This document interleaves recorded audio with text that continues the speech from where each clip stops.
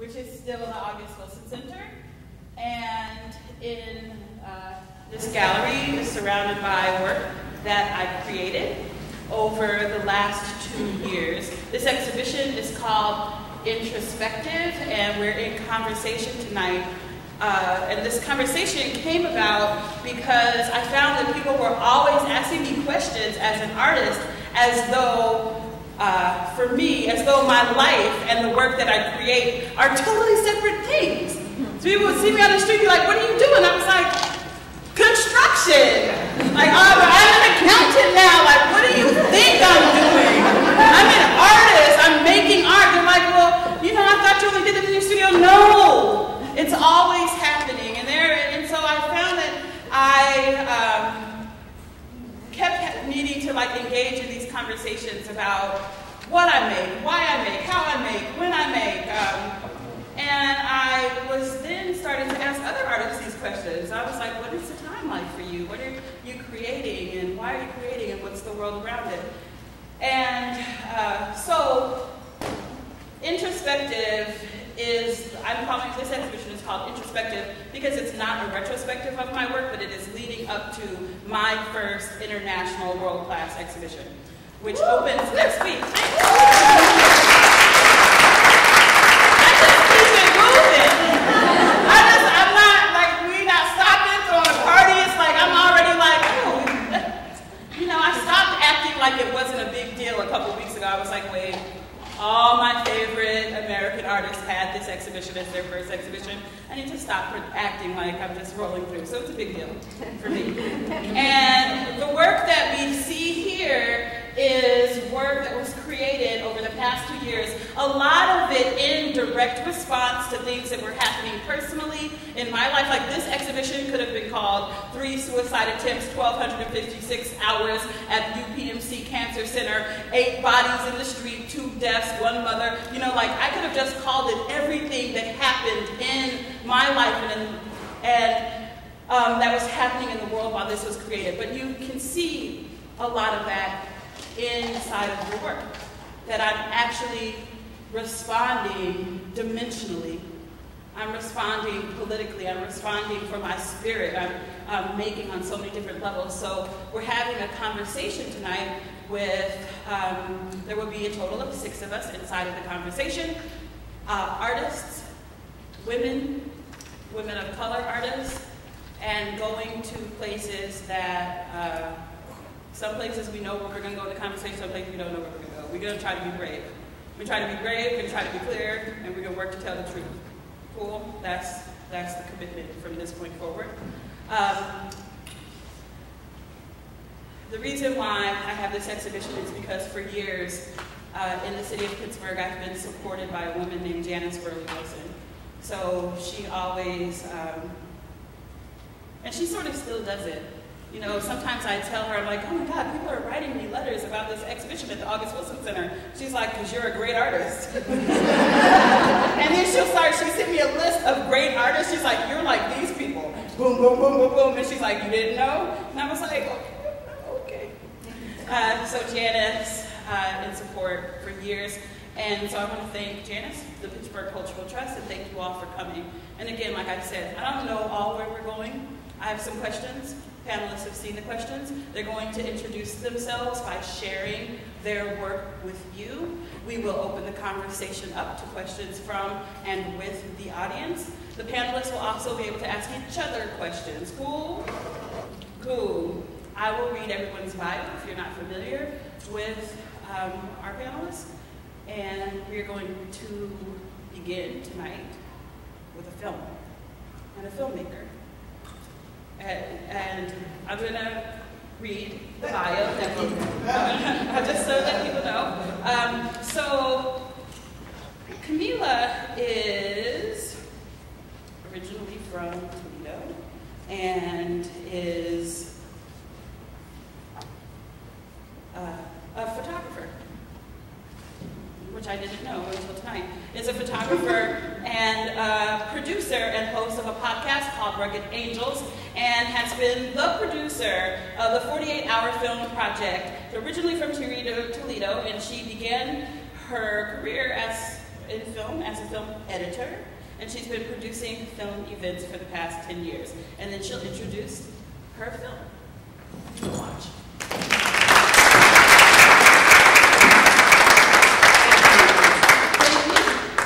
Hello, I'm Camille. Um, so I'm just going to show this really quick. It's like a three-minute film. Um, I was asked to uh, submit a film for Swan Day two years ago. Um, if you're not familiar, it's Support Women Artists Now. And it's a wonderful event that just celebrates female artists and everything that they do. And um, I was quite pleased. And they give us a prompt beforehand. They give all the artists a prompt. And our prompt was to tell a story we've never told before. So, and this is just kind of explanation of who I am.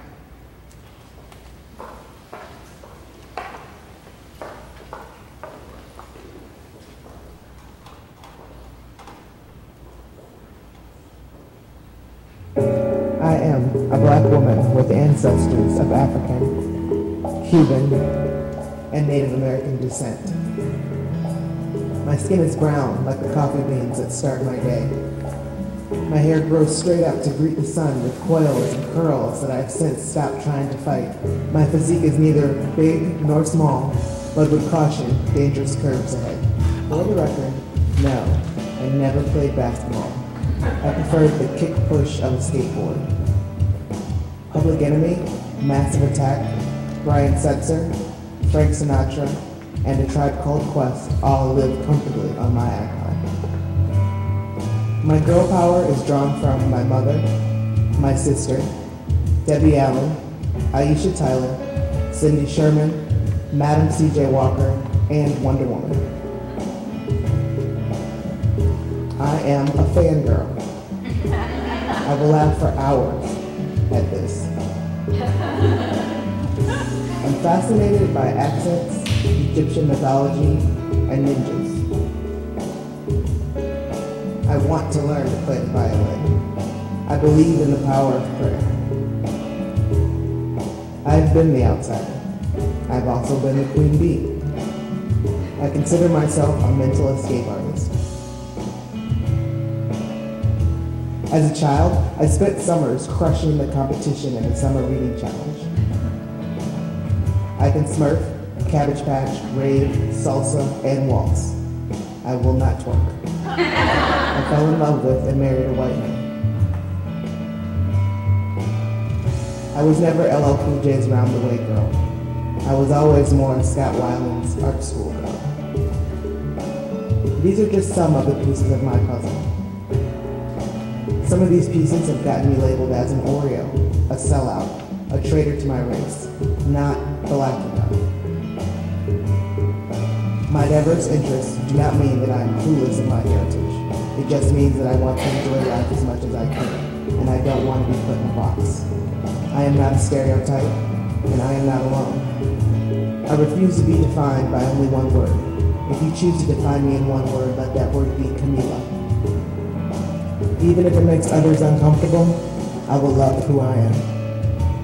For me, acting black is being black, and being black is being me.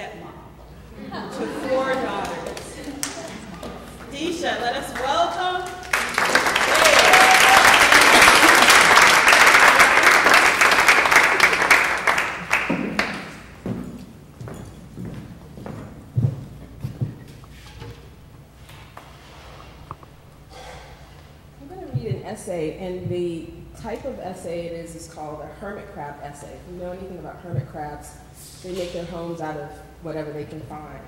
And a hermit crab essay has been described as an essay that inhabits an alien form in order to deal with difficult material.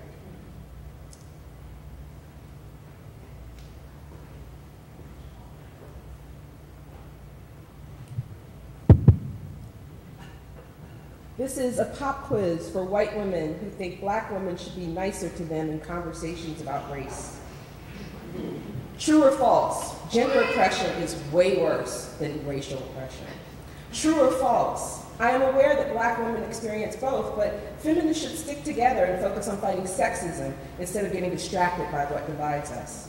True or false? Racism is mostly about personal slights and hurt feelings, not a systematic form of oppression.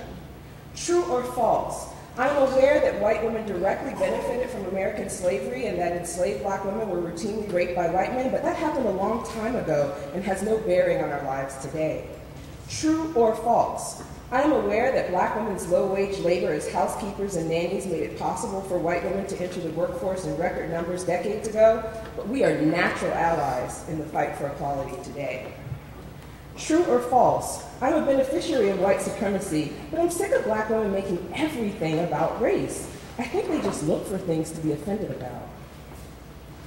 I don't know the historical origins of whiteness, but I am qualified to say what black women need to do, and I'm well informed about black women's lived experiences because A, I know about sexism, B, I'm a good person, C, I'm an anti-racist ally, D, I have curly, hard to tame hair, E, my BFF in undergrad was black. True or false? When it comes to race relations, both sides are equally to blame for racism because I don't know the difference between racism and racial prejudice. True or false? I am one of millions of white women saying ignorant racist shit to black women every day, and on a given day, I may be one of several white people who have worked a particular black woman's last fucking nerves with my ignorance. True or false? Black women should be nicer when trying to get people to support their cause. True or false? Black women should be willing to educate me and other white women tirelessly for free um, sorry, um, instead of expecting us to educate ourselves. True or false, if black women calmly and patiently educated me with citations, links, and expert scholarship as to why what I said was ignorant and racist, I still wouldn't believe them. True or false, I have been a victim of online bullying by black women after I attempted to silence them by selectively quoting Martin Luther King Jr. True or false? I'm insulted and offended when black women tell me to adopt a listening and learning posture in conversations about white supremacy because from the time I was born, I have been taught that I deserve to be affirmed, prioritized, and in charge. True or false? My feelings are more important than black women's pain. True or false? When I cry white woman tears because black women aren't nice to me, I am aware that these are historical tears, that my tears have fueled racial terror and the murder of black people in America for hundreds and hundreds of years. I am tired of hearing the following words. A, intersectionality, B, white feminism, C, misogynoir, D, white fragility, E, Becky. True or false? I am both the oppressed and the oppressor. True or false? I hate this quiz. True or false? I hate black women. Well, I mean, not all black women, just the angry ones.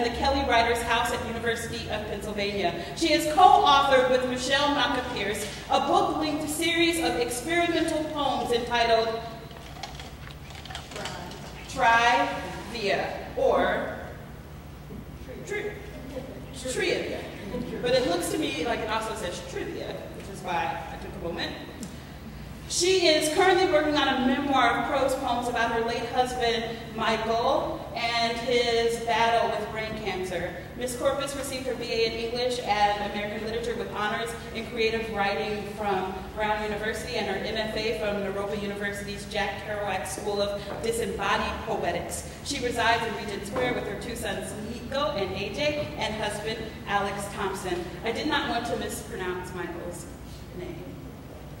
Thank you. Thank you.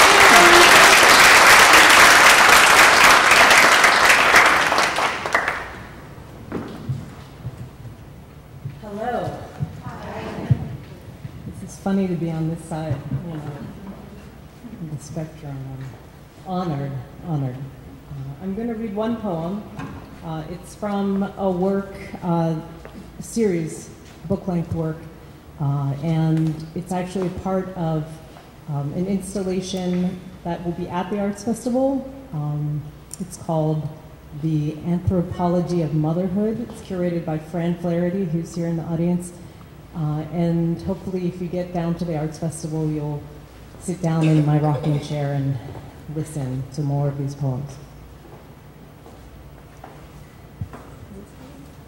Can you hear me? Can you, Keep it close.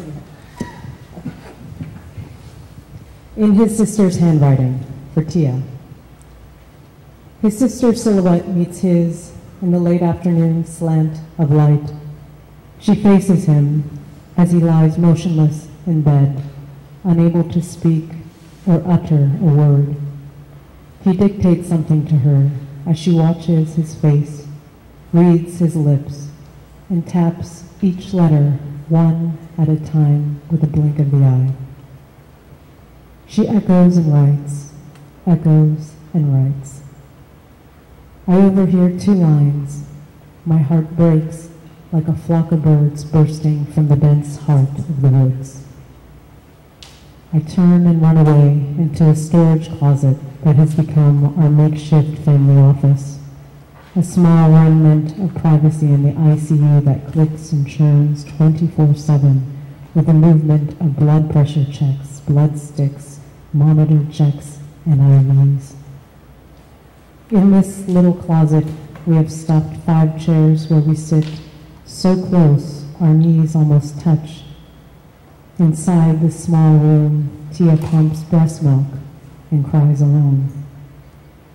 Here, we remember.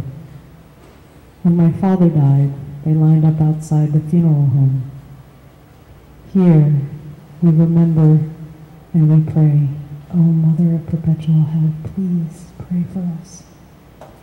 Here, we confess what we do not know.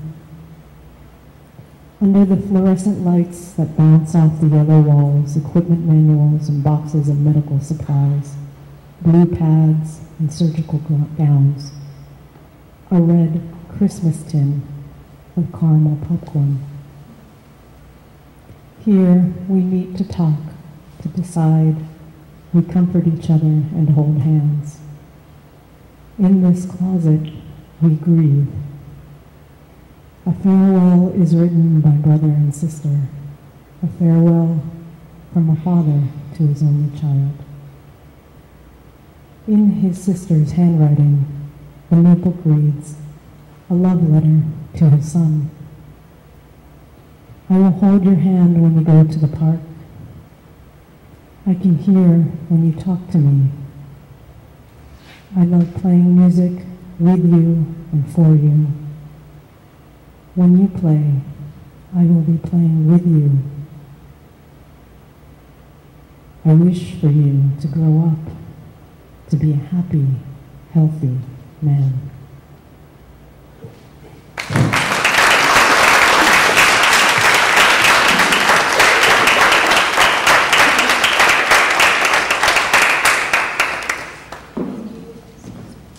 Joy KMT. How you feeling? We're, we're all here together. Joy KMT is a healer, lover, mother, and artist. She is a survivor and a creator, a MacDowell Fellow, a Callaloo Fellow, and a recipient of a Heinz Fellowship. She works in the, in the intersections of ritual, art, culture, science, and liberation as a member of the Black Quantum Futurist Collective. Welcome, Joy.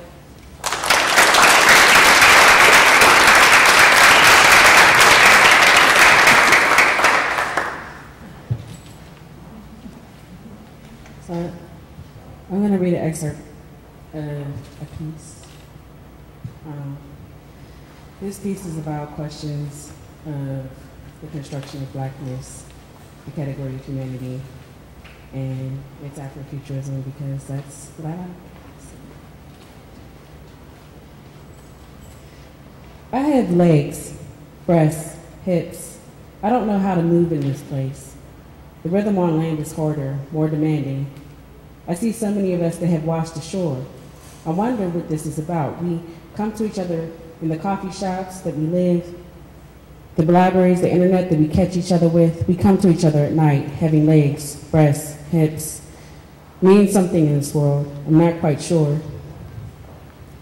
I have dreams that I am a drowner, that I am snatching some person with blue skin down from the top of our home and skinning them gently while they squirm away from me, trying to breathe their can of air bubbles. I take off their masks and they are so pearly and raw, flaccid like babies. I hate to drown them, but this is our home. I discover that who we that we who have been washed ashore are black, and none of us knows how to get back. Every once in a while, somebody thinks they have found the answer. They usually end up washed ashore again, drowned or defeated and half insane. The insane ones walk around with seaweed in their hair all the time, talking about Atlantis. Atlantis is not real, at least that much I know. Sometimes one of us has slipped away and does not come back. They do not tell us that they are going, but they go and they do not come back. We know this. My lover is one that is not like me. He says that I smell like the ocean and some days slightly fishy. I thank him. He is confused. Buys me perfume. But he loves my skin, rubs my nipples like talisman, and that sends waves of pleasure through my body. I feel like bursting and I want him to rub my nipples more.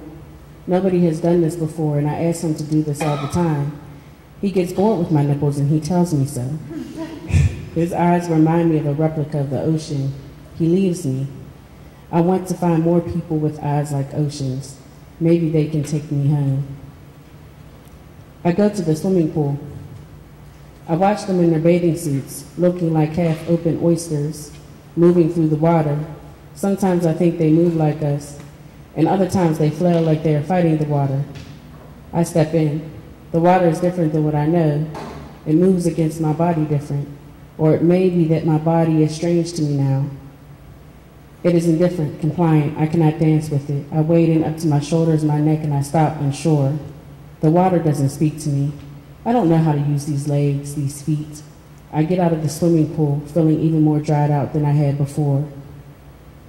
Black is a funny word. It is empty, like the water in the pools. It seems to be a prefix that means not or exception, none of us. It feels like never knowing what it feels like to be who we were. We don't talk about who we were. It doesn't seem to be relevant now. The people here don't like us. When I see one with blue eyes, they don't look like oceans to me anymore. They look like I mean not. They don't know anything about home. Some days I feel like I mean not. I tried to slip my tongue around the words I used to speak, but my tongue doesn't work the same. These words I use now, they are like a shackle on my tongue. I used to think that shackles were jewelry when mom used to show me the shackles that grandmama turned into teeth when she turned sharp.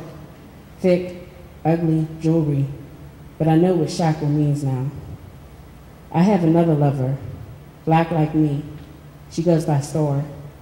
She makes me homesick much because she's dry and wet at the same time. We fight a lot. When she cries, I lick her tears and they remind me of home. She says I'm dry and wet too. I don't feel any ocean left in me, but she says she does. We fight and then we kiss and then we remember things together. Sometimes when we fight, she leaves and then I go looking for her for days. I always find her again. I hate the feeling. It feels so good that I'm afraid that she is not real. And we fight so that I can make her real. And then we kiss and I remember. Too many days like this. It's like another shackle. I begin to count time by the days. The days that she is here and the days that she is gone.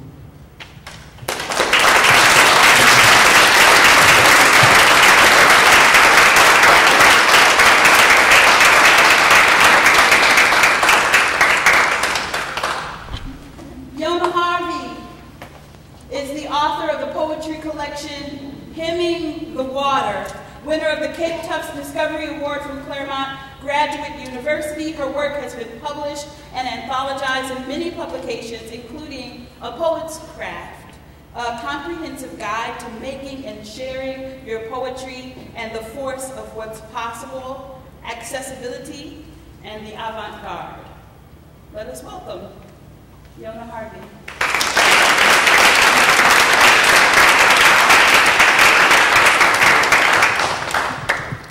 Hello. I'm going to read um, from an essay I wrote about my younger sister who passed away in 2007 when she went to an emergency room to get mental health care. Um, and in this scene, I've stolen her journal from her place in Chicago and put it in my purse and hid it from her parents and brought it back to Pittsburgh. Mostly the journal is an account of Brandy's first year on campus at The Ohio State University, filled with predictable gripes about classes, dorm mates, and new love interests. Her journal also reveals, though, bouts of depression, stress, insecurity, and suicidal thoughts, as well as her visits to a campus therapist. The 1994-1995 academic year was a challenging period for my sister. It was her first time away from home, and she was baffled by the social life, contradictions, and new ideas that many college students face. Not long after Thanksgiving 1995, she wrote, Good things. M looks up to me, school, changed her major to business accounting. R looks up to me. I encouraged her to stay in college. Yona looks up to me. Personality. My family looks up to me, i.e., college. M loves me. His family loves me. L loves me. His family loves me. Granny loves me. Think about DJ L.E. I believe Langston Hughes when he writes that poems, like prayers, possess power. And I read what Brandy writes as a poem. Brandy's poem has a title, line breaks, and an affirming catalog of good things that ends with the name of a teenaged boy, L.E., who once captured Brandy's imagination. Maybe because I'm a poet and an older sister wanting peace of mind, I can't help but read Brandy's work this way. I want to believe that Brandy's catalog of good things pulled her back from isolation. And I'm relieved to know that, for one year at least, Brandy found some comfort in writing and recording her thoughts, and that she sought help for her depression and difficulties. What she writes is part poem, part affirmation, part girl talk, and part secret. And, like Brandy, the poem keeps certain information to itself. Who, for instance, was DJ? The name doesn't ring the slightest bell.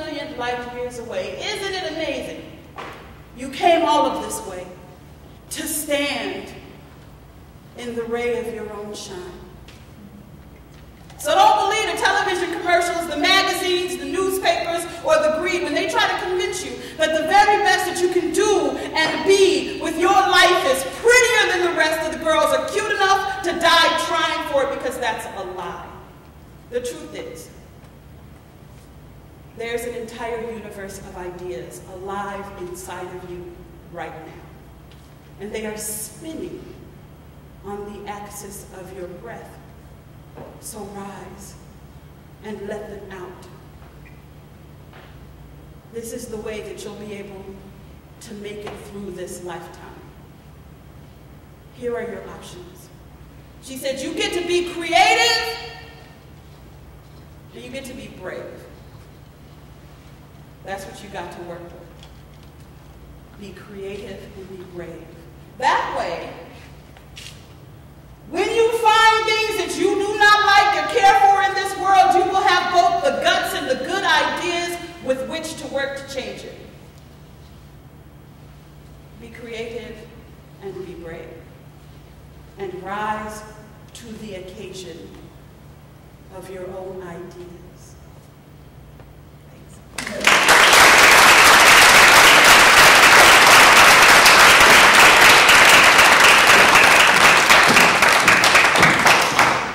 So thank you all for being here with us. Uh, I feel like we're okay. If anybody needs a mic, I can take it off and pass it. Cool? So I spend, I'm a sculptor. Most of my time I spend alone in a studio. When I'm building a body of work, I spend about 10, 12, 14 hours a day um, in a studio. I don't have children, so most of the time of my life I have uh, intentionally spent, I have intentionally built my life after my last suicide attempt to be able to spend as much creative time as I can. Uh, because that's what keeps me alive. If not, I uh, would not have made it. I figured out the only way to keep myself alive uh, is to spend as much time creating as possible. And one of the things that I find is that uh, I'm always curious about how other artists are, um, how other artists are um, creating the universe that they create. So I'd like to open that up to anyone who wants to begin um, and just talk about uh, was there a time in your life when you came to understand the fierceness of creating your creative space and protecting that space? Was there uh, a point in your life as artists where something had to change so that you had the environment that you needed to create in?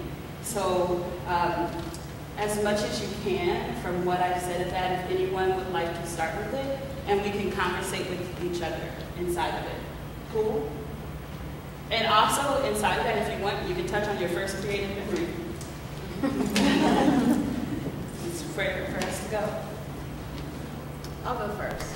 Um, when I got your question about first creative memory, um, I realized that I didn't think of myself as, as a writer at the time, but when I was uh, probably as young as six, I used to create worlds. I used to create classrooms.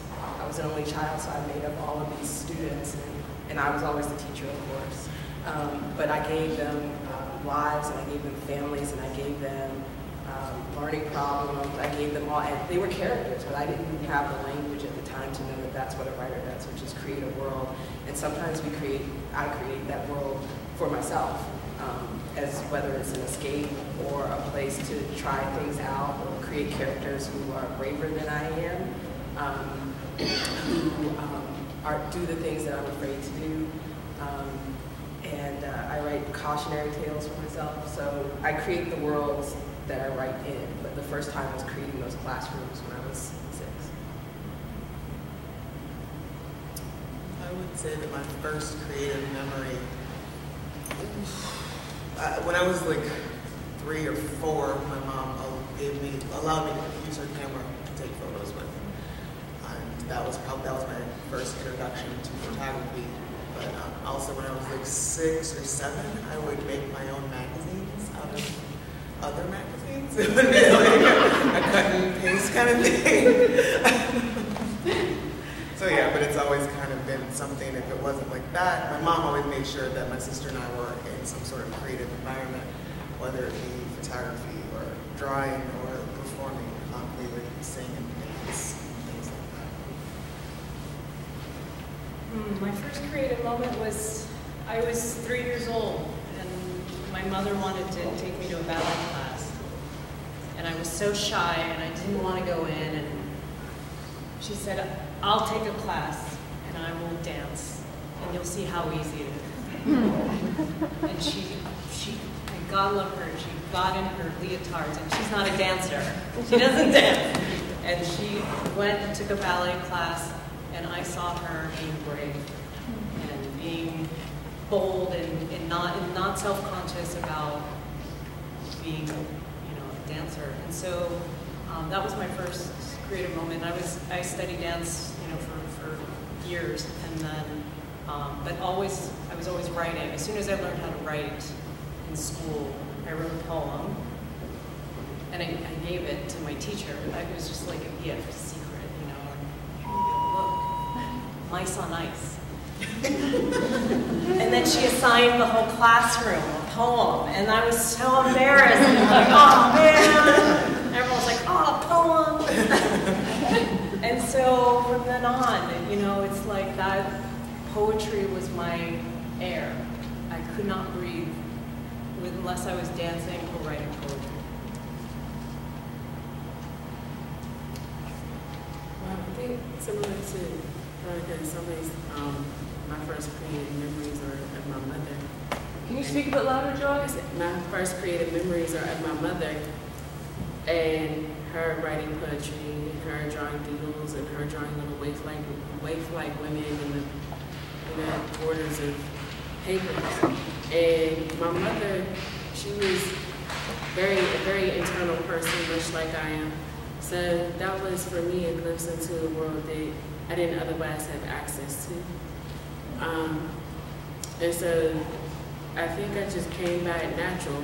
You know, and I inherited it from her, creating a whole bunch of internal worlds. So anything, arts, craft, writing, whatever, you name it, I'm get my hands in it, do it from the time that I started school.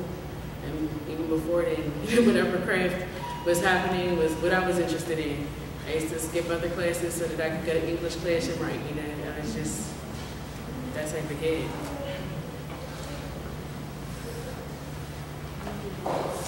My first creative memory was of my father coming into my room where I, uh, you know, I guess I must have been a toddler, so he worked very late hours. And so I think he would come in and check on me. And so I just sort of translated that image of him. It was like shadowy. He became like those little figures in the whiz the subway station, noisy, and I think those were his keys. You know, which sounds kind of creepy. He's actually a very shy and gentle person, but I just can remember translating something every day to something stranger. So hmm. that's one piece. And then the second piece would be similar to Joy, like my mother. I saw her as an incredibly creative person who didn't recognize her own creativity. She's an excellent seamstress. Uh, she can just make things with or without a pattern, and she had been, you know, she did that from the time she was a very young girl. I mean, back then, you know, she did it out of necessity, whereas now it maybe costs more to make clothes than it did back then. But those are my two earliest memories of creativity. How do you, and anyone can um, add, answer this? Um, one, at what point, since this has been a part of like your whole lives as creative people, at what point did you start calling yourself? And what did it take to call yourself a writer or an artist or to recognize that, um, like, did you have a moment? Is there something or experience where you recognized that it was integral to who you were? It took me a long time to actually come to terms and say, yes, I am an artist. Yes, I'm a creative. Yes, I'm a photographer. Uh, for whatever reason, I just kind of I, would form it as, oh, I do photography. Oh, I do this thing over here. But um, I think it was probably just maybe like five years ago when I was like, yes, I'm a photographer. And I don't. What was happening? Um, I was blessed with the opportunity to do portraits for the Pittsburgh Jazz Legends. Um, there were three different classes of five individuals, and me, I spent an hour with each one and photographed them, talked to them, and it was just kind of that moment. And when I would, when I showed them, you know, a lot of you know, old old head jazz dudes and women and whatnot, and um, a lot of them they were already basking in the glory of being recognized and honored for their lifelong achievements here in Pittsburgh and with, in the jazz music scene, but then there was a certain, when I showed them their portraits, there was this appreciation, there was this, you know, these glows. They're like, oh my God, I've never, no one's ever captured me like that, or, you know, this, that, that. So it was more like the connection that I made with them, as well as how I made them feel about themselves. Uh, it just, so it showed you something different about yourself. Yes. Like you saw yourself through. I was in college. Did you? What did you go to college for? Writing? I did originally. I went to Howard University and I went as a nursing major. because I grew up in the Midwest and that that's what you did. You got a job, right? so that lasted. All Were you ever getting receiving the message that there was shame to be an artist or that you would have laughed and you'd be flipping burgers and it's like, you know, you can write anytime, but you need to, how you gonna pay your bills? Did you have any of that experience? It wasn't shame, it just was not even an option. It wasn't even visible to be shame. You know what I mean? It wasn't ever presented to me as a life option. You know, it was oh, those pictures are cute, or that's mm-hmm. great, you know what I mean? But it was never like, you could go to right. school for that. You know what I mean? You went to school to get a job. So, you're at Howard, you're just going to be a nurse. I'm miserable. I'm failing chemistry. I'm bored out of my skull with the, uh, in the nursing school. And I keep skipping class to go talk to Ethelbert Miller and African American Studies and going to poetry readings and all kinds of stuff. You know, I could, his desk was like facing, he's facing me, there's a clock behind him, and I just see that class is ending, that class. and then finally, I just switched my major. I was just around all these really interesting, amazing black artists, and there were so many people coming to the city, to the campus, Sonia Sanchez, Ntozake Shange, all these great How long was finally? Like, it's finally, is it like second semester, first year? Oh, good. Because I was so glad it wasn't like I mean, finally, when you're young, eternity, right? So, yeah, after I failed chemistry, it was right then. I was like, I need to change my major. And my father was, of course, furious because I went to school on a nursing scholarship, which is separate from liberal you know, arts, arts and sciences. So, yeah. All right. Does anybody else want to answer that question?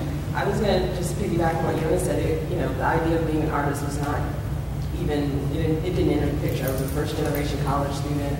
Um, I was not nurtured as a creative child, um, but I, I was always interested in reading. And remember those classrooms I created. Um, I eventually became a teacher, um, but my degree in college was economics because I was trying to get a job. Um, I hated my first job out of college. I cried every single day for nine months. And then I left that job and um, became a teacher. And then after being a teacher for a couple of years, I moved to Pittsburgh, I started a family and started writing when my daughter will be 18 this year. Um, when she was around two, I started writing. And I would write these stories and kind of keep things to myself. And again, it was those worlds. It was all very private. And, um, and I, I thought, like a lot of, I think, women in general, that we, I needed permission from somebody to say you're a writer, you know, to I need the stamp of approval. Um, but another way to flip that is I needed a mentor. I, I did need that. And uh, another writer that I met at a conference in Greensburg, of all places, said, you know, pick a writer in Pittsburgh. You know, who do you know? And I said, I don't know anybody. Nobody. I was living in Wexford at the time. I wasn't in the East End yet. And I said, well, there's this guy, this black man that writes for the newspaper named Tony Norman. That's the only writer I know. And she said, well, write to Tony Norman. And I said, okay. So I wrote this letter and I said, I want to be a writer. And I was, you know, 20, 30, 29 at that point. And I wrote this long, impassioned email. And um, if you know Tony, he's very generous and a very good friend to, to writers. And he wrote back and he said, you're already a writer. And, um, and that was exciting.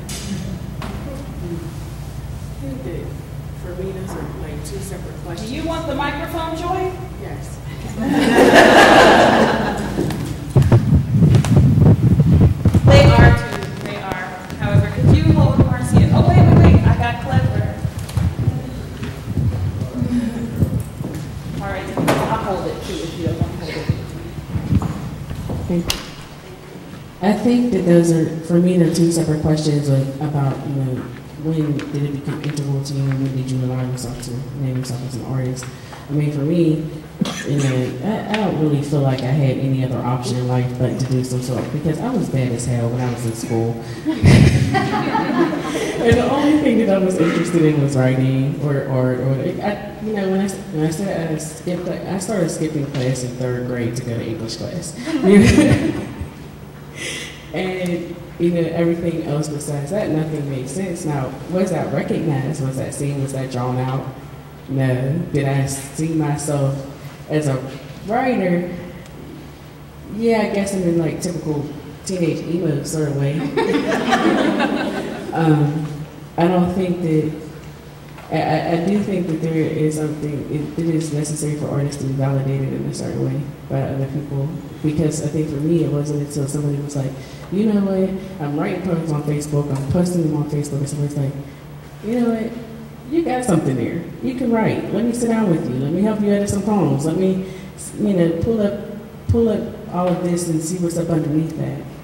You know, and somebody really taking the time out to um, pour into me. That had never happened before.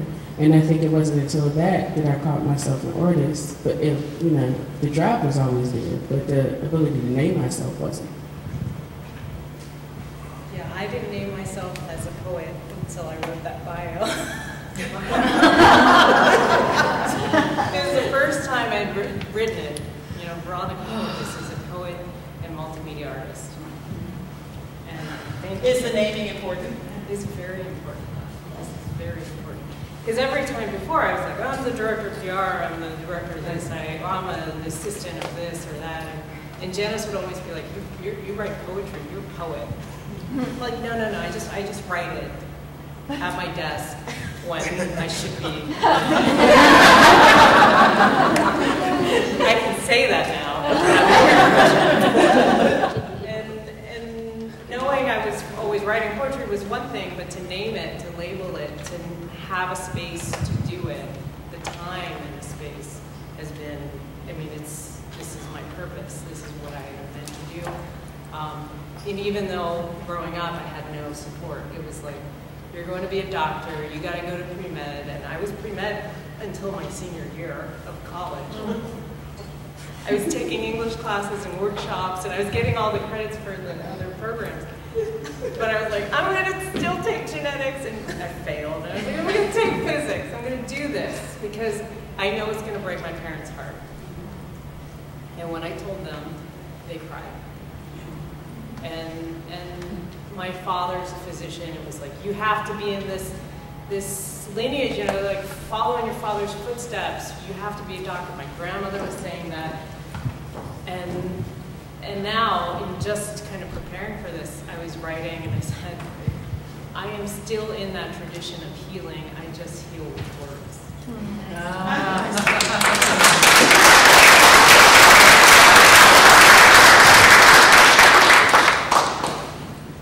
So I um, I didn't go to college for anything.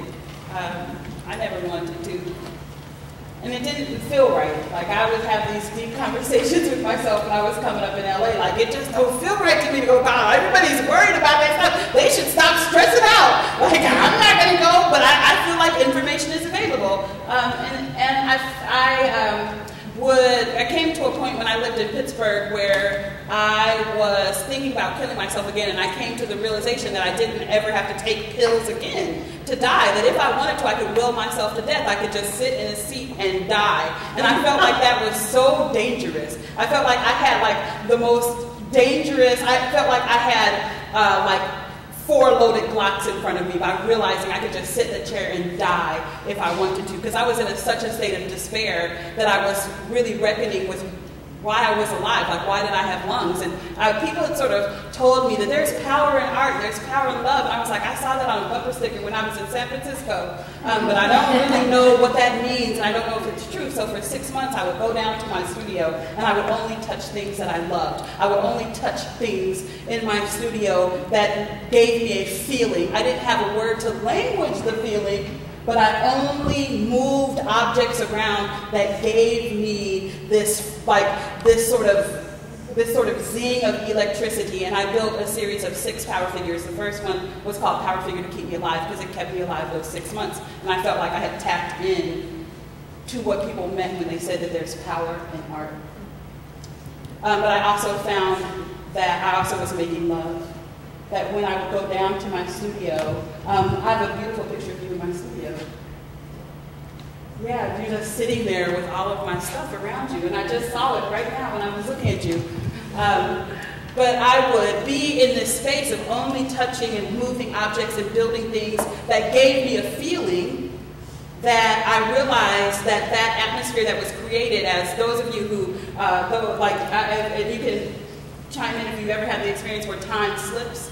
And I would work for like 18 hours, pee once, and just drink water out of a gallon thing that I kept filling up at a slop sink.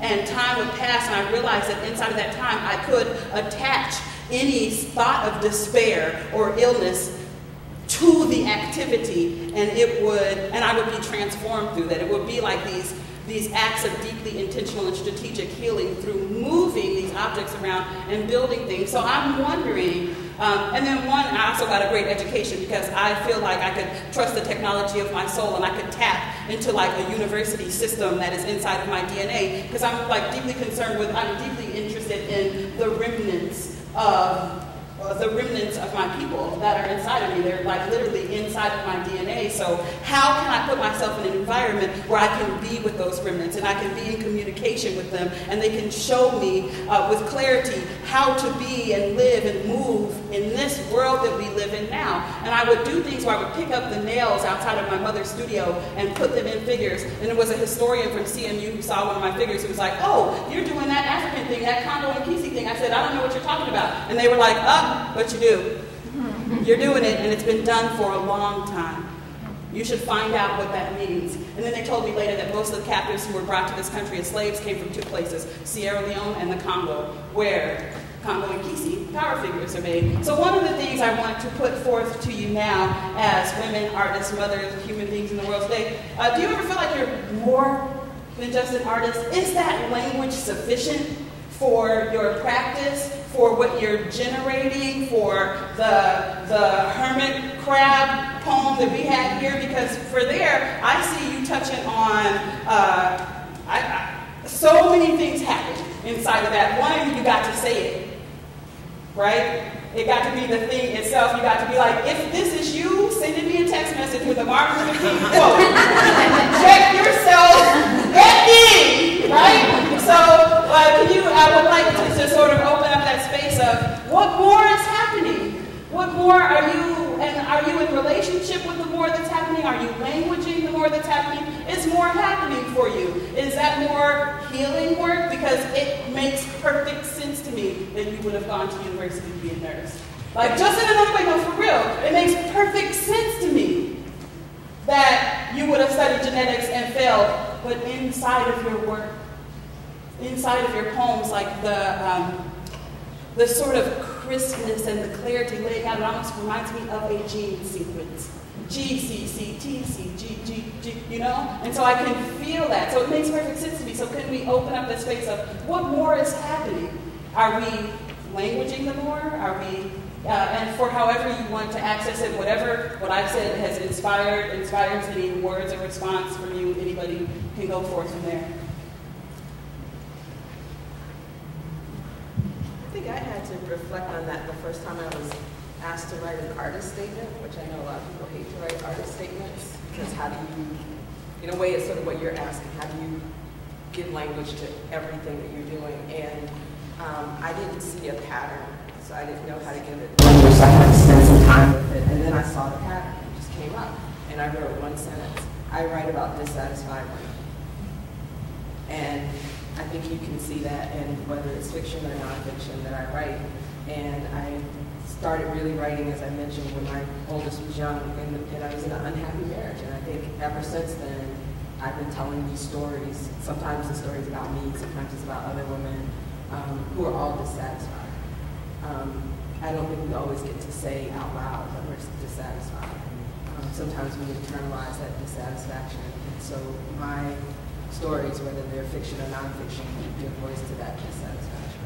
Are you in, uh, like, how do you, is there a level of your work where you experience the satisfaction that you get from writing about dissatisfied women and, and recognizing the satisfaction that other dissatisfied women get from, you know?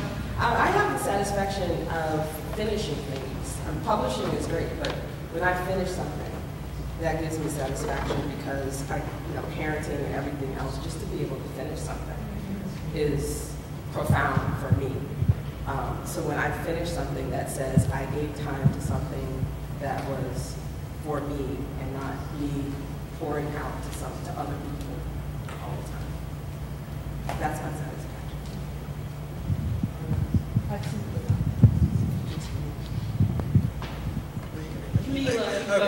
Okay. Um, I think as, as you just posed the question, I'm sitting here trying to think about it because I don't, I'm not the typical artist, I guess, because I mean, I have the photography and some filmmaking and whatnot, but mostly I produce events, I produce film events, I produce and host podcasts. And but though I would think that the common thread in all of those is that I kind of help people find or discover who they are. And in that same way, that kind of reflects upon me because I've spent so much time trying to find out and discover who I am. Um, so I think that's the common thread that I would have throughout it. It's just kind of self-discovery. I, that since we're sitting in the August Wilson Center now, that reminds me a little bit of Aunt Esther. People would go to her and she would see them, right? Right? And then their legs have different substance and they move through the world because they have been seen more for, you know, and so it, there's an aspect of what you say that brings that to me. But then also, what is the typical artist? Yeah, and I hate to say that, um, but it's just, uh, and I think that's another reason why it took me so long to call myself an artist, is because um, I just, I'm a wannabe writer. Like I, I don't write, I don't paint, I don't draw, I don't sculpt. I, it's just to me, uh, there's just, there was something that I wasn't connecting. It just didn't seem like, it's like, oh, I'm just having a photo. Oh, I'm capturing images, like kind of thing. It just didn't seem like I was actually creating something. I was speaking in Hartford recently, and this girl said, "Well, how do I know an art? I'm an artist. How do I know what I'm making is art?" I said, "Do what white men do and just name it." but I think that there's something, and even like your body language, you talking about it. I'm like, name the thing. You just decide. Like, just decide that everything, because you listed the things that you don't do. Just decide that everything you do is the thing itself. And I'm, No, I just, I'm listening to you thinking, oh, I'm gonna, I'm gonna make Kahmeela a list. Well, know, it's like it's just now something that is coming Yeah. to me. Like I know that yes, I, I produce a lot of things. I produce Yeah. events and and um, uh, podcasts and whatnot. And that's that's not to some people that's not art, but I've found my own way around it. Have you ever seen it done bad? That's how you know it's art. Like, what happened to this event? How come there's no microphone? How come people aren't here? Because people didn't know. Um, I like, I appreciate you saying all that because I feel like I exist in a world where all, where people expect that you just beam into places you are, right? That you just be there, like I'm a producer. What? so I agree, you know, because it, it it generated in the substance of your life, like it came up and through all of the living, Right. you know, and so that's that's like eight degrees right there. Thank you, Joy. Um, I have so many thoughts running through my head. It's, You want a scratch paper? um, I think that, uh, yeah, art, art, art does not really contain what it is that I do. And like, I feel like it's, it, it is about the feeling, like they say, like the feeling, what Vanessa was talking about, is like I can get the feeling from, if I can get the feeling from tincturing dandelions, or if I can get the feeling from holding a ritual space, like it's like a communication with the divine, and the divine is how it expresses itself through me, and that can be in a number of different mediums. You know, words are containers for that. Holding spaces is containers for that. Uh, making things as a container for that. And artists, you know, I think that you know it's like everybody, not everybody, but a lot of people want to be artists, but it's like you want to be a word. They want to be artists and live and be artists, live, work, space, and pay for that. But the idea of art is like about the relationship you have with yourself and the relationship you have with all of yourselves and relationship you have with your divine and stuff. Like I think there's I don't I, I don't think there's anything that can adequately explain what goes into this little tiny category that we have in this society as art. I think that that's too small. The word is too small. It's too small in our culture. It's too small in our society. That's what I think. Does anybody else want? I just want to, Joy expressed that, say, you know, to go back to your original question. Am I more than an artist? I see myself as more. Do I see myself as more than that? Absolutely. I see myself in relation to my children, women artists I know. You know, so sometimes it sustains me to write a poem, finish an essay, but sometimes I will meet Joy at the tea house or wherever we meet, and she will ask me one true joy question And that question will carry me through the day, through the week, you know what I mean, in a way that a poem would, in a way that people perceive art as carrying you know what I mean? And I would say the same for you. I worked uh, with Vanessa for a good period and just being in her studio. And of course, it's the things that you were making, but it was mostly the trust and the questions that you would ask and the care that you would give me. So that is really important. So my friendships, my kids, you know, yeah, relationships make me, you know, there to me that the art, there is no art without people, without Deesha. You know what I mean? Right. So that's very important for me to express in this space. I was going to say the divine is, is the perfect word for me because mm-hmm. what happens for me when I enter my space and, and I'm I enter it because I only have a very short amount of time. I have two small children. I I kind of honor the, the time and space, and just receive, and I'm opening myself to what is so much bigger and larger. And the quote, you know, a poem is like a prayer, is constantly what I am doing, you know, just listening and receiving, and it's that that moment of kind of opening myself to something well larger and bigger um, that I, I seek to just kind of get it down in whatever form it takes. And faith and, and speaking to the dead or speaking to God or what whoever you want to name it and label it, that's that's what I'm listening for. And it's that ability to quiet myself down to hear it and to be open. So I'm gonna um, share quick story, and we can talk through that story, and then we'll open it up for a couple questions because I'm pushing time, like I always do. Always push time. Uh, so last year, Serena Williams was going in for the Grand Slam, right? People had counted her out years before. They were like, oh, she's old. She not, she ain't it's a young, young athlete's game. But then she just was winning everything last year. 6'1", 6'2". Tears all over the court. Serena waving, holding a Sterling cup up in the air.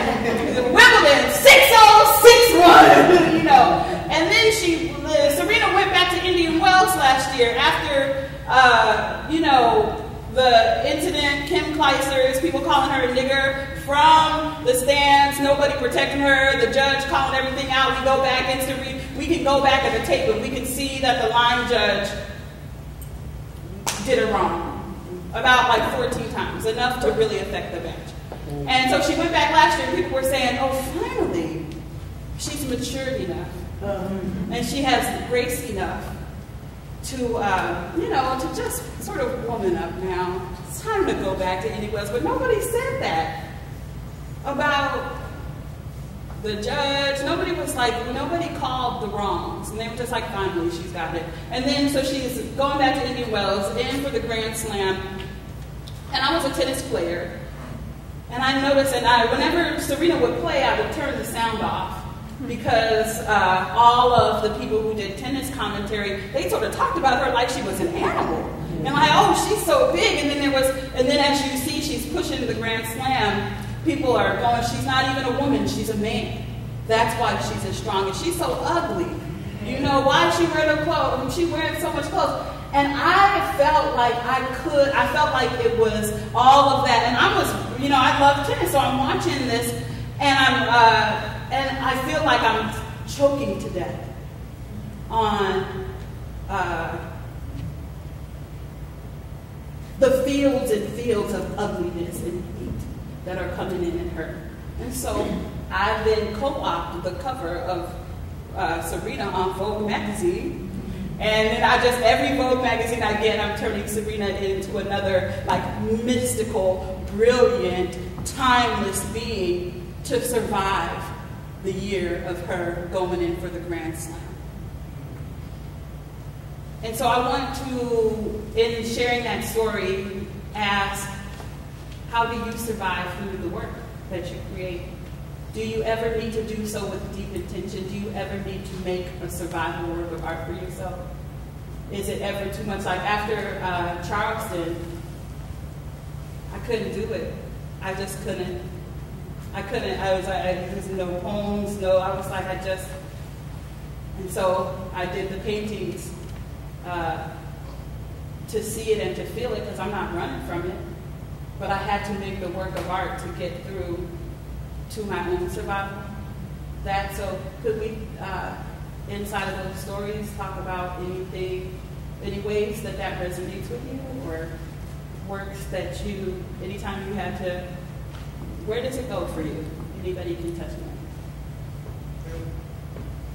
There was a point that I had gone through a divorce several years ago, and there were a lot of things that were kind of affecting me. Uh, we had been together eight years, married before, and um, but this was this was one of the few times that I took to writing, and I just journaled for for weeks about it. No one's ever seen it, no one ever will. But there was just there was something about it that, that, that really did kind of help push me over to see, you know, just writing about any and everything that just came across first things came in my mind or what what went wrong, what did we do, what's going on, fiction, nonfiction, you know, whatever. And I had like a couple of substantial notebooks full of just Full of your own my own pain, my own yeah. Right. Well, I had to ask. I asked a curator. I was like, people are saying, asking me about this show. But what I say, and she said, those are relics. Everything in that show is a way to see a relic of the time, a relic of a life, a relic of the cancer center, from like the toilet paper from police stations and emergency rooms. They are like, as you know, you can go into some Catholic churches and they have like a like a shard of the tooth of some old saint and or some old man and he a saint, and they rub that shard of tooth on a couple of pieces of fabric, and, and they have power, and people go to them, you know, to seek for their power, whatever the shard of the tooth was the power of the man, he could make water come clean again. You come to him, you know, but they are the books are a relic of your survival. They are, and you could, I think about what would happen if you even touched them now. Hmm. Like, what would happen if you, like, stood outside the divorce mediation center in Highland Park and just was like, you don't even have to get that close, this is for you. you know, like, what else does that become? It's like the, the stuff that people will rub to go on the Apollo. Right. You're going to be okay. I got you. All right. Just cover your face right over here, you know. Because I feel like the, there, I feel like our lives are, for me, I, I, you know, my life is contained inside of it. Like there are parts, there are, uh, one, my physical essence is on there. And finally, the scientists have come out and told us what women have already noticed, that you, you are leaving parts of yourself behind.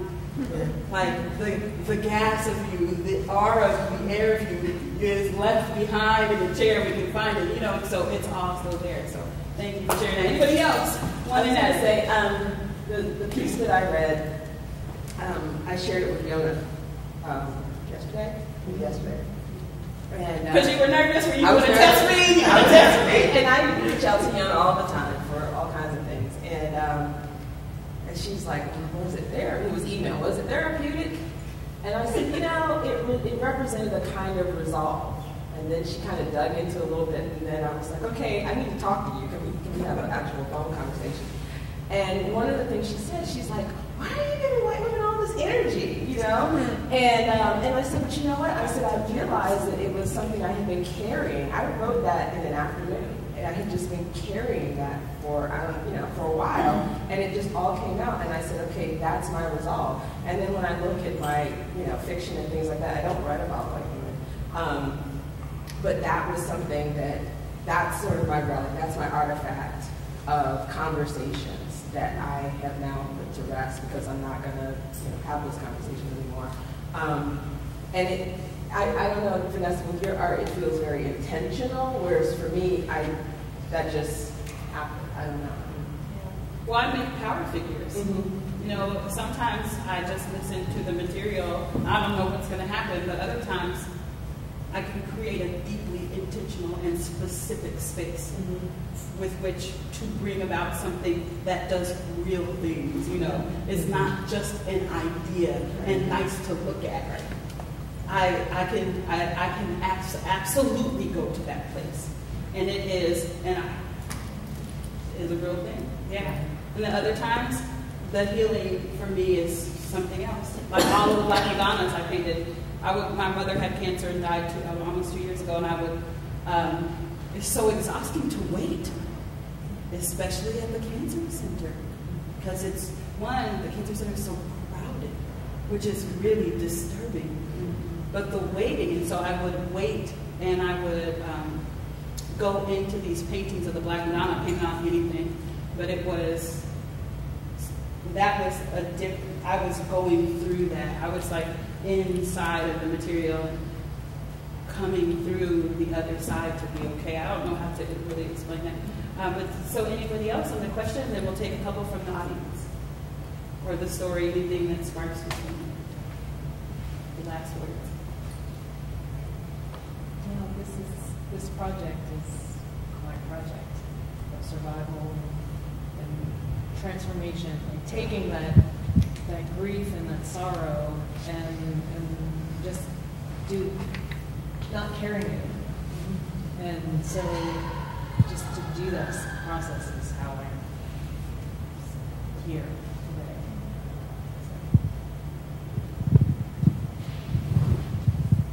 I think that I've always written to survive. I've always created things to survive. Uh, you know, I feel like, um, know, like I, I grew up in East Hills and Homewood during uh, the 90s on the gang era, you know, and things were pretty rough then. Um, and a lot of things happen, you know, I think to a lot of children, but, you know, here in Pittsburgh, a lot of things happen to children that even adults can't make sense of, so the children can't make sense of it either. And, you know, I think that if it hadn't been for me creating, then I would not be alive today. I wouldn't have made it past a certain age because there was nothing else to really live for, you know. And so, uh, and there was nothing else to, that helped me make sense of my world. And writing in particular is something, well, I think there's, I create a lot of, in a lot of different ways, but writing in particular is something that helps kind of keep me sane, You're sane as an artist be. You know? Um, so it's not this. It's it's it's it's what I it's it's what I create with the after effects of trauma. That's my writing. I create other things while I'm surviving. A lot of those times being like ritual spaces or ceremonies or things like that. That that helps me get through. But what helps put me back together is writing.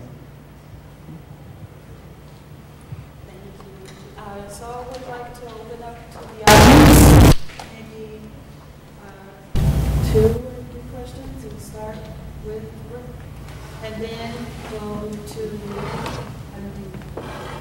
Um, this actually isn't a question, but I noticed especially. Could you speak up? Yeah. This actually isn't a question, but I noticed uh, you two ladies on the end, you were talking about um, writing about, you wrote about dissatisfied women, and um, you know, you were talking about, you know, you just take pictures of people and you just kind of show people what they are. And I thought that, and then uh, Vanessa actually asked you, do you find satisfaction in that? And I thought that was interesting because it's like, like you said, her work is really intentional and it's this like, almost like problem solving. And I think it's easy to think that when you're just, just reflecting something, that it's not as powerful. But I can tell you that over and over again, I've gone to people that said, well, tell me, I don't know what the hell I'm doing. And that's kind of the same type of work that I do. It's just sort of saying, well, this is what I know.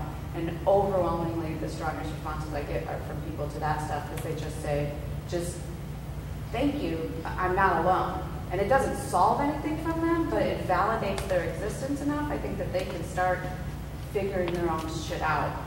because they've got that ground zero. So I just want to tell you that that is not a small thing. Like just, I always say the most, this is so corny, but the most romantic movie to me is Avatar when she says, I see you. Yeah. Like that's a very, very powerful thing. And it can seem underwhelming in the face of, you know, oh my gosh, and she's making love, she's making whatever, and you're like, I'm just like, some people aren't happy. But to be, to when you're not happy for other people to say, some people aren't happy, you're like, okay, now, thank you. I'm gonna figure it out on my own, but thank you. So that's, I just wanted to say it. I think that's just as powerful of art. Thank you. Um, so I have a comment and a question. First, I just want to thank all of you for all that you've shared.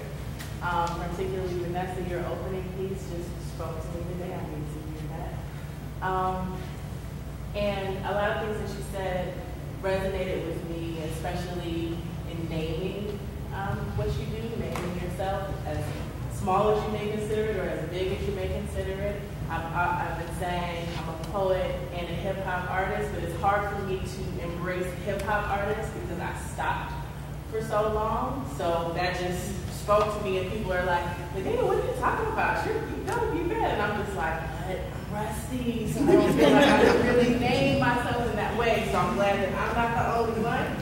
Um, and so going to my question, I've always been an artist and had another job. That's what it is for me today. I do great work in education, but um, I wanted to get, since you spoke to a lot of pivotal moments in your life, I wanted you to speak to um, that moment when you decided and were able to step out and say, the art is what I'm doing, and that's it. Even though there, you know, for all of you, there are multiple levels of your art, but this is what I'm doing. And how was that journey like for you? And if you have any kinds of navigational tips.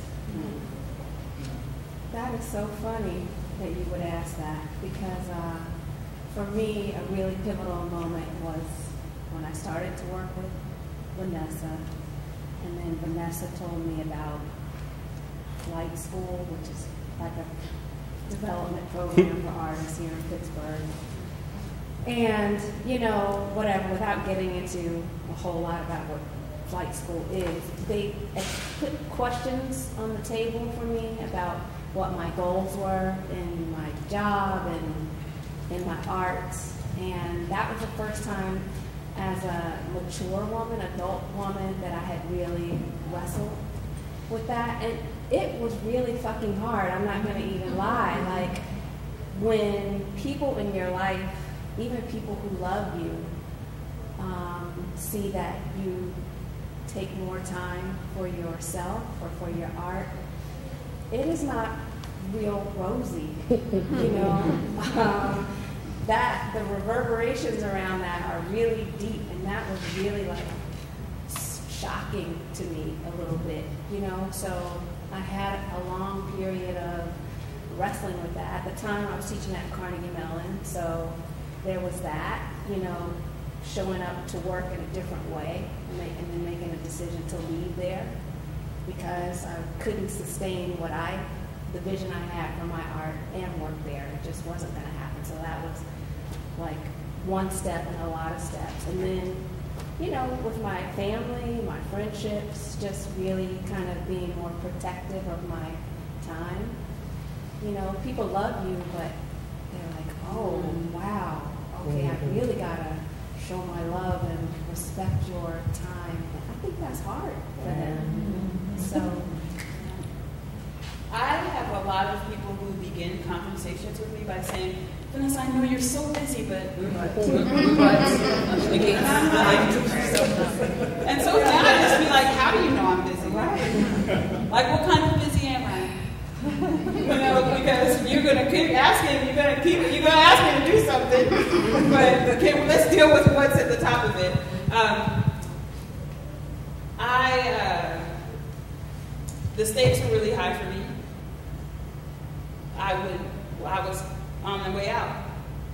And so I reorganized my mind about what it meant to be alive. I reorganized then hours of the day, knowing then what I had made a decision about why I had lungs, and that decision was confirmed to me through the living. So I just reorganized my life, and I was um, like lived in complete poverty as an adult, like in Homewood at the row house, catching water in a Home Depot bucket off of a broken gutter on a roof of a row house because my water was always shut off. To catch water when it rained and put it in my bathtub, um, and Tina would feed me. Um, but I was alive because I could go down to my basement and I could work and I would uh, like mine all this stuff from these vacant houses and stuff. Um, I'm a single person. I don't have kids, I have two dogs. And people always would, uh, without having to say the words, you ain't shit, you're not gonna be shit, would communicate that to me. And then I just got to a place where I was like, oh, they're, they don't know that, you know? And so that helped me to also like totally redefine uh, my stakes and what my life meant to me. And for me, it was all centered around creating and generating and being in as, as courageous conversation as I could be with my soul. Um, that's how, what it is for me. Because uh, it was also, I recognized like incremental death when I would leave the house to go to work for somebody else. Mm-hmm. And I would think to myself, what's happening to me? Like, I, and, and I, a woman, it was this this white lady said to me on on the north side at New Hazlett Theater at an artist talk, she goes, she's like, yeah, that's called being alive. You just need to step up and keep doing that because nobody's going to take care of you. And I told her, I said, that's not true. her son was an artist too, and I thought, God forbid she give this message to her kid.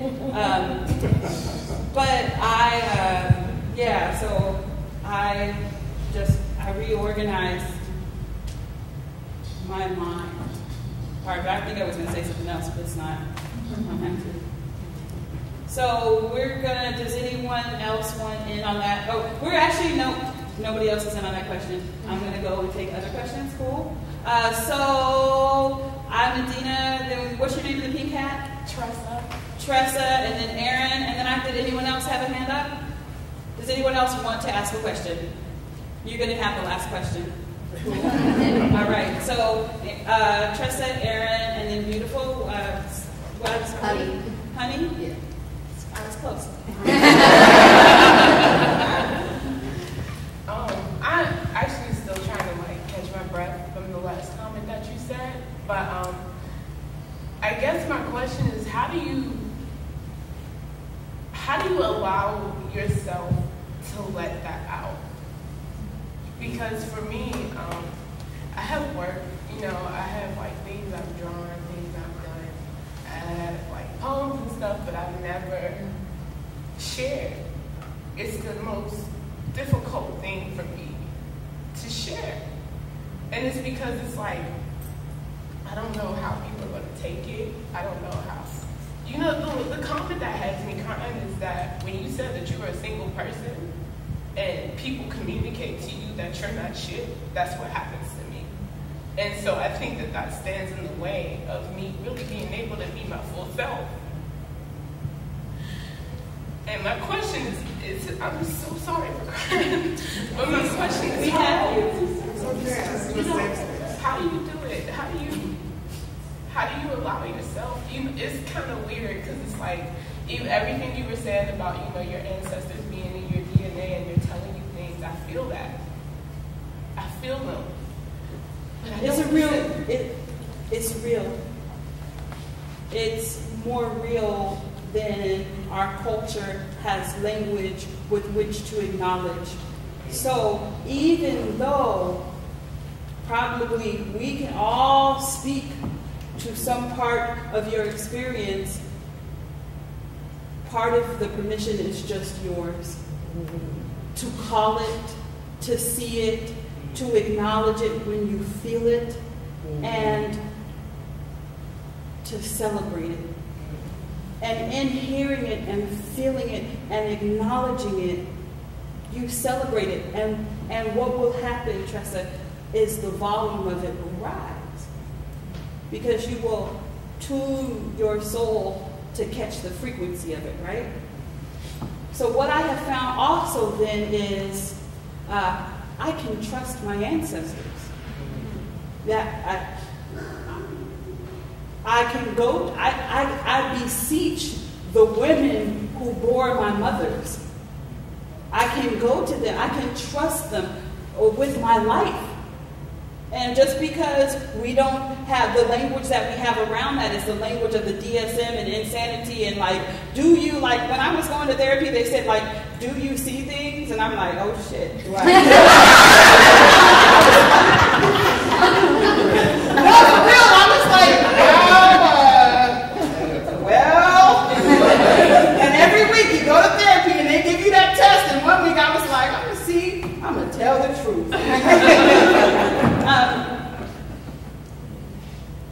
it's a lie that we are not deeply connected to invisible things, our people that are around us. Anything that language is to you, uh, uh, uh, disconnection, insanity, or um, wrongness, those are like crafted lies from a world that wants you to depend on a, a, a, machine to be yourself. But this is not true. So one thing is, one thing that I found, this is for me, anybody else who wants to touch it can, is that I can communicate with that feeling. And I can say like, I, I feel this. I, I, I feel it. I see it. I need you. Thank you. Help me. Like I do you know like sometimes I think to myself, thank God thought bubbles aren't real. One, because people would know how violent I am. and then also because it's like like hold me, protect me, and I can actually see sometimes the women who bore the women around me, I can see them right? I ain't got to explain that to the therapist lady no more. Uh, and she said to me, you know, that's not real, right? And I was like, oh, we've lost her. and I'm like, we can only get so far now. so I'm like, you should have dropped out of college when you, uh, before you got that degree, because now you lost. Um, yeah, so there's a way of communicating. And then the thing about sharing is, do you want to share? Are you so are you saying that there's a conflict between feeling I want to share this and it's hard for me because perhaps you know, Kahmeela does say, ain't nobody gonna see the book. say, ain't nobody gonna see the divorce survival book. It's her book. It gotta do it. You know, so is it that you want to share? And then part of it is like if you answer that question a certain way, you just need to be brave. At some point, you're gonna have to take a deep breath and make a decision.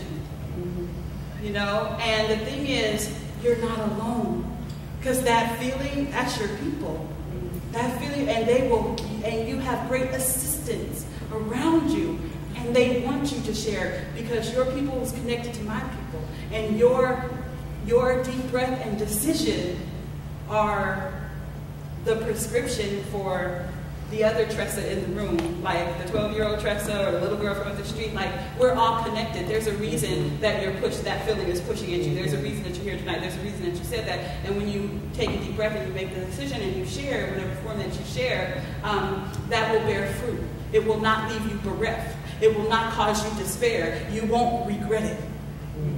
Like when it happens, it will bear the fruit of all that is, of all that is to come from that. And then that fruit is like fuel. And then it goes back into what comes to create next. It's all, you are not alone, and we are all connected, and you will not be left wanting. You know from that, you, you're going to want to do it more, but you're not going to be like, ah. oh, should have kept the book in the closet. that's not going to, because that's not why you're alive. I used to ask myself, will anybody care about certain projects? And I just decided I care. And so that's what became a more driving force. And when you make that decision, everything's going to change. I can divide my life and my friends between the friends I had before I said I'm a writer and the friends I have now. It's, it just, my whole world changed. And that's not to say they were bad friends, but those just were not the people that I could say that to and who could nurture it for me. And And so, you know, I met Yona after I, you know, said I was a writer. And there are things that I can share with Yona because she's sick. There are other people that love me, but that I, it's like your art is sometimes your baby, mm-hmm. and you don't hand that to everybody. I think it costs a lot to not do it. And like a lot of the pain that you feel is like it, the pain that you feel is from not doing it. I I do a lot of weird shit. Um, um, I do a lot of ritual things that people consider woo woo and whatever. Um, things that do not have a job description. You know. um, and I'll just wake up one morning and I'll be like, you know what? It's about to be a full moon. I want to do a water ceremony. And I'm going to invite everybody that I know that I think is going to need this water ceremony. And then I'm going to think about, I'm going to feel my way through this water ceremony. I'm not even going to plan what it looks like. I'm just going to do it. You know, it's like jumping off a cliff and then something always catches you. You know, is you have to trust it enough. And if you don't trust it, then it's going to keep stomping around on your insides like an elephant. it will, because you just have to, you have to go for it. I didn't know if I wanted to share it tonight. I was in the back, like, but I don't know. I can't. I don't know if I can do this. And I just sat in the chair and I just listened to that voice that said, "I will. Lead you through this." It's just, you know, do you see things? Do you hear voices? I hear. I hear voices all the time, and I just trust them. I think there's a commonality between all of us tonight where I talked to everybody, we're like, a little nervous, a little nervous about tonight. And I think we were all very nervous. I wasn't. she was not. I was just sort of like, they're brave to do a panel with me. and I told her, I was like, I don't know what's going to happen. I said, be brave. Tell the truth. That's what she kept saying. That was the mantra. Be brave. Be brave. But there's thing, like sometimes people to care. I mean, I think you were there. They were doing a march for some something that happened. And one hood had, and then I had a little healing room, and I invited people, and nobody showed up, and then I was having a breakdown, and I was crying in the hallway, yeah, that happened. And so what? Because I still do the same things because I can't let it go because it's part of me, you know. So sometimes people won't care, and it's okay. I was actually looking for that healing space that day. to be like, I really was. And I went up to the room, that floor, and they were like, oh, yeah, the floor, this is the healing space. And I was like, what? Julie's not here. What are you talking about? well, this is the healing space. Thank you. Thank you so much for all your work. Um, thank you. Thank you. Aaron. Um, first, thanks. And the, uh, I just have like a little statement and then a, and then a thought on top of that. And the statement is that the, the arts are, um, the, people in the arts need to be taken care of because they've, you have put yourselves in a place that is open, that is exploratory, that can sometimes be vulnerable because you're exploring. There's new places. And those new places are, are the next step. Vanessa once came up to me, and I, I, had, I was lucky enough to be in a space that was 5,000 square feet. There was a 75 foot wall. To put this into context, the wall behind you is 105 and a half feet. And it was 20 feet deep. And this room is close to 25 feet deep. And she said to me, after I'd filled the room as a curator with nine artists, and I was worried I wasn't going to be able to fill the space. And I gave all the artists as much room as they wanted. And there was uh, many artists that said, I don't think I can take the space that I asked for. When the artists showed up, they said, I want more space. I want more space. And it happened over and over again, and the artists didn't know each other. And fortunately, I'd sort of hoped that and given them all extra space. This, the, the exhibition was called um, um, Jabberwocky versus Dada. So anyway, after the exhibition, Vanessa was part of the exhibition in a little bit with a performance that she was part of another exhibition. And Vanessa, after the exhibition, came up to me. She was not in the exhibition. She came up to me and she said, keep in mind this was 12 years ago or so. And she said, I want this space. I said, what? She goes, I want a show in here. And just here. She goes, yes, I want 5,000 square feet of space. I can fill the space.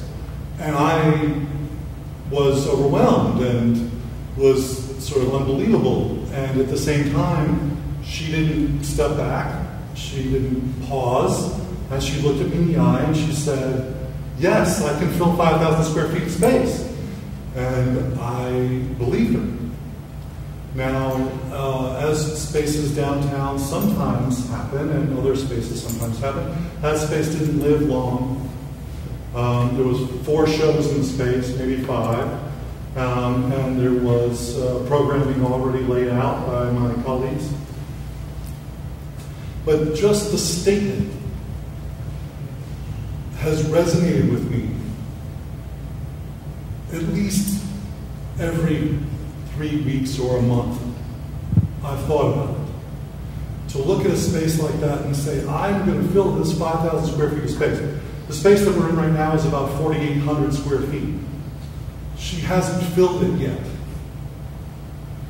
And she's filling it with other people and sharing their art and giving them space and giving them the opportunity to share that.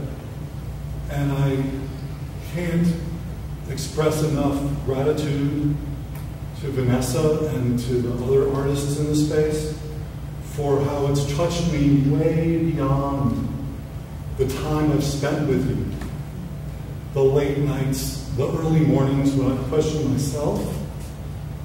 And I know other questions have come up with other artists.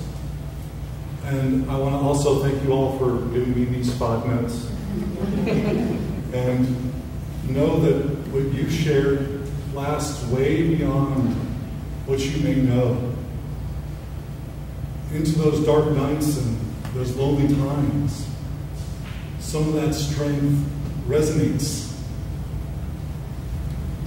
so I just want to take a couple of minutes to share it. Thank you. Thanks. I have no problem taking space. Uh, because I decided several years ago I was going to do whatever I wanted to do. Somebody said, What do you do? And I said, Whatever I want. and they're like, How do you do that? I'm like, I don't care about the top 12 things that a lot of people say they care about. I don't care about the car. I don't care about that. Like, I'm going to do this anyway. So that's part of that. I can see myself as part of that. Be like, I want to do whatever I want to do. Um, and then I'm, we're also here because I'm selfish. And I was like, who do I want to listen to talk about what it's like to survive in a world that hates you and doesn't think you're shit until you pay a white man $350,000 for a degree that he gonna use to trap your bank account for 75 years? And how do you endure the evening news, your 17 and your children, panelists? That's where I'm just selfish. So, uh, honey has the last question. I feel like I to make it really good now. It's already really good. Just smile at you. So, I want to echo the thanks. Um, I know some of you, but some of you I don't. I really, this is really dope. I'm glad came. My question is, um, I'm from New York, and I'm struggling kind of with a decision on whether I'm going to stay in Pittsburgh at the. Um, I wanted to know, I guess because New York and I guess places like LA are kind of known for being almost a character in artwork. Do you feel like Pittsburgh is uh, almost a character in your work, or I I guess I'm more so asking think you would be the artist you were without Pittsburgh, and are you glad that you are a Pittsburgh-based artist, especially as a woman of color?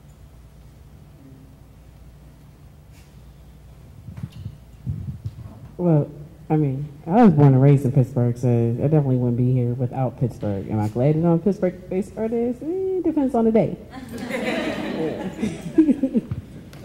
but it, it's definitely my Pittsburgh is definitely my landscape. I, I I don't think I would even be here as a person, as a human being in the world if it wasn't for the uniqueness of migration patterns that causes Pittsburgh to be you know to put, causes Pittsburgh to be what it is.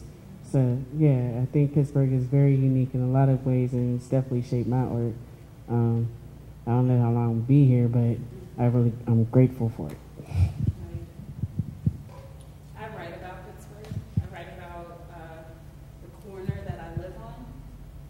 Um,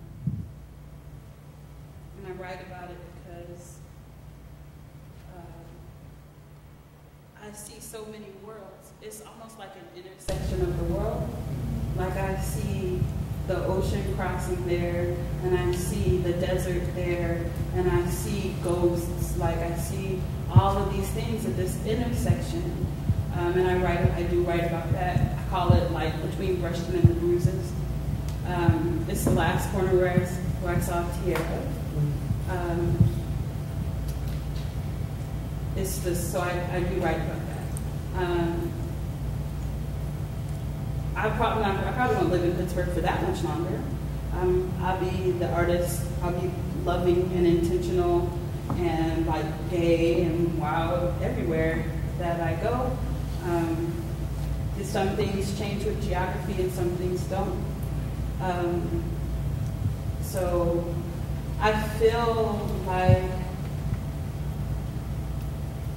uh, like survival is very present. Survival and safety is very present for me, like in a way that is like uh, a different a being or something. Like I have, I uh, have really crafted a space around myself to be uh, as loving and healing and as safe, uh, like dimensionally safe, like for my soul.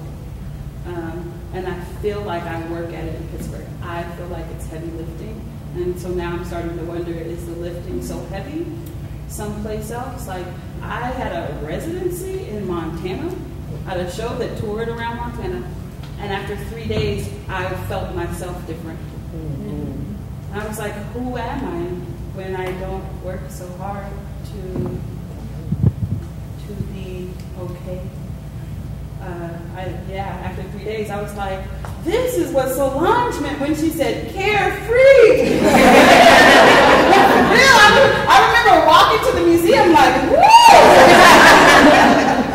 and I was like, I'm fine today. And I was like, is it? Uh, I was like, oh, I'm not doing the extra survival thing. Mm-hmm. So some, I'm starting to look at places on the map like, do, do I have to do the extra survival thing there? Like, will I have to do it anywhere? Because I think about Sandra Bland all the time. I think about how she didn't leave the house thinking that she was going to be the one. And I'm like, oh, so now I'm like, is it an extra thing? Am I good? Could I be the one anywhere? Like, is there some place where I'd never be the one? You know, like, so I that, that that question has been like I told Joy the other day. I was like, yeah, I might not be here. She's like, I'm thinking about going too. Remember, like, what reason said texting? Mm-hmm. Yeah, how you doing? Like, I didn't get arrested today at the barber shop. I'm okay. Like, I'm just got they called. Anyway, um, so I was like, I don't know. So the question is real. Like the the extra work that it takes. Yeah. Um, to not be a hammer in my, you know, to not have that other I'm thinking about that. I'm not um, originally from Pittsburgh. I'm from the South, as you know. And but I last year I was officially here longer than I lived in my hometown. But I still don't feel like Pittsburgh fits me. Um, and if I look at my fiction, every all the characters from the South, it's always set in the South. Nothing set in Pittsburgh. So I think that. Yeah, me too. I, I'm not from here. I moved here from New Orleans, but I grew up in Southern Ohio.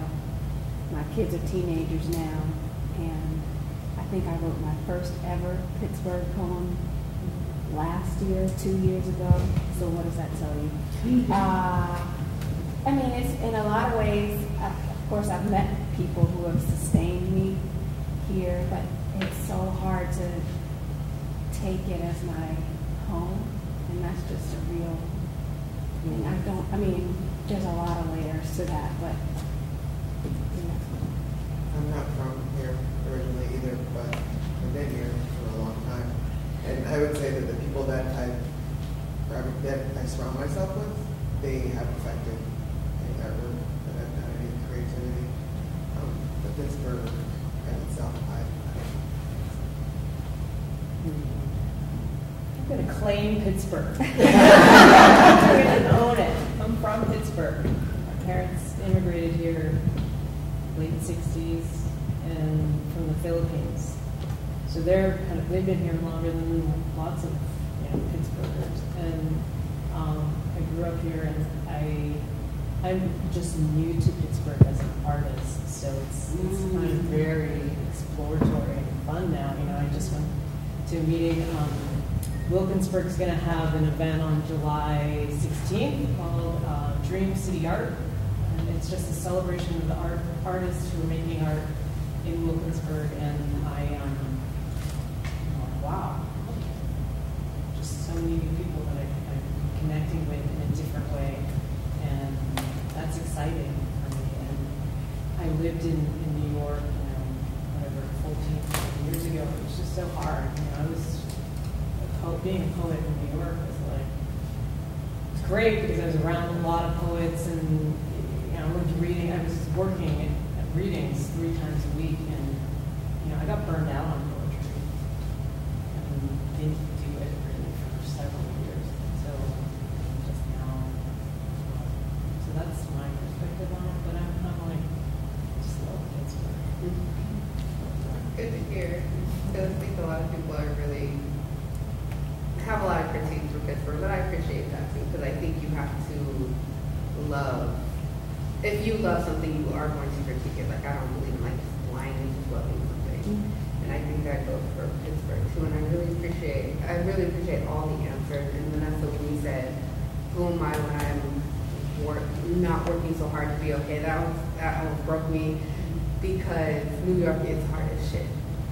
And I'm so addicted to working very hard that I don't even know what to do with myself here, where it's just easier. Like I almost feel like my character doesn't fit easy.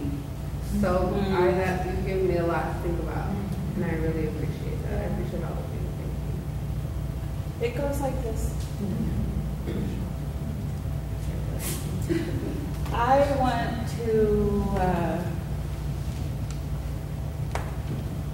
ask the panelists to give a last word um, just about love, and then I'm going to say thanks and goodbye.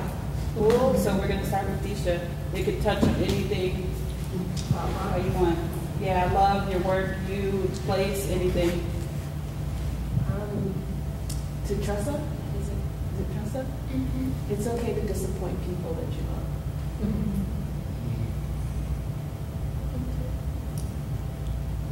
I love, I would suggest you do it.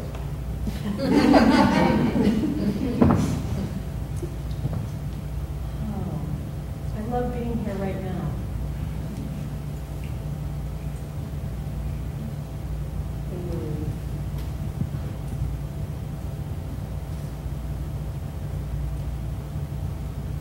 That's a hard one.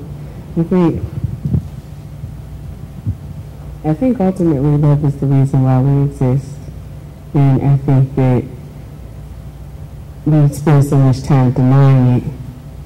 I think that's why artists are seen as crazy so much, because I think artists are articulating existence in certain ways.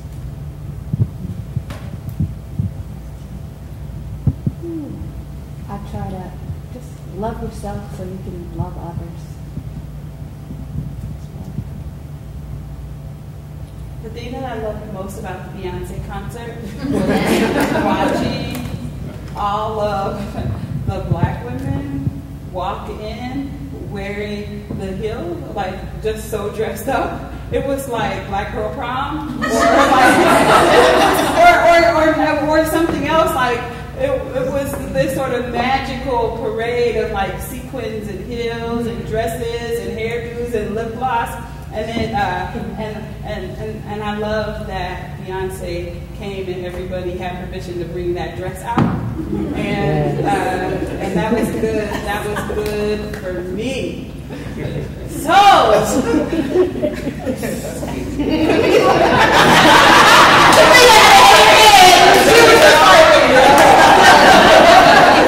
we done come to the end. Let's talk about the dress.